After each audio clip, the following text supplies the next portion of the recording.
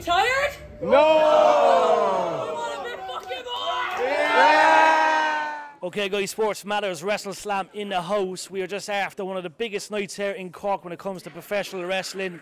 The lady next to me, a five star match. She absolutely battered Riordan O'Connor, where he's not been seen since. Uh, I don't know, is he in hospital? Is he gone to CUH? Not sure quite yet. Raven, first of all, I know you've always had aggression, but tonight was just something different. Oh, sorry, I'm lightheaded.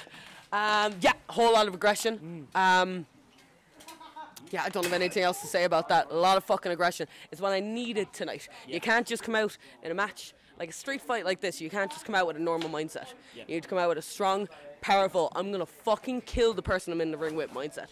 That's exactly what I had. The second I walked out the curtain, there was a different spark in my eye. I've seen it. And you fucking need it for this kind of a match. And listen, you've, you've always got great momentum, you know, in the world of wrestling. You know what I mean? We see you in Cork. There's always big matches you're in, and we seen tonight. Huge matches, fucking huge matches. Huge. We we we, we we gave the match. He's good at, he's good at booking. I love Billy. We we gave the match a five star. Look, it was Thank you. absolute classic from start to finish. But what's next? Brand new venue, the Pavilion. You know the Pav. It's iconic here in Cork. It's like Mm. an ECW feel. It's like a ballroom. It's beautiful. But It is, it is. listen, there's a lot of stuff going to happen in due course. We're going to mention one thing. Will we see perhaps an RCW Women's Championship? Maybe a Hardcore Championship? What would you like to see? Ooh, to be honest with you, here's a fun fact for you. I've never competed in a women's match in RCW. There hasn't been a single time where I've only wrestled a woman. It's been intergender, it's been whoever wants to fight me women, men, children, I don't give a shit. I fight everyone and anyone here. So, gender fighting titles. Will I take a women's title? Yeah, of course. Will I take the RCW World title? Yeah, of course. Will I take the te- tag team titles? No, probably not because I have no friends. But if I had a friend, then I might take them.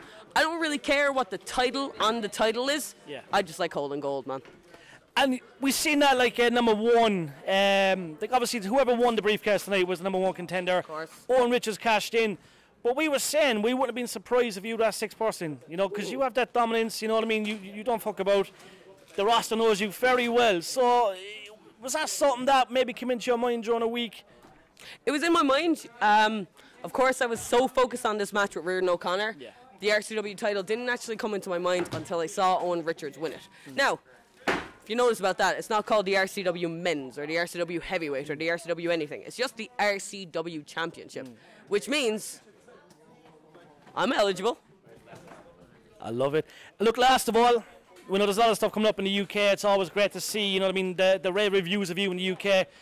It's, it's another big year for you. Every year is a big year for Raven year. Creed. But listen, you're always making them waves. You know, we go on Twitter. The UK are happy to have you. Obviously, you love it there, and you like making an impact.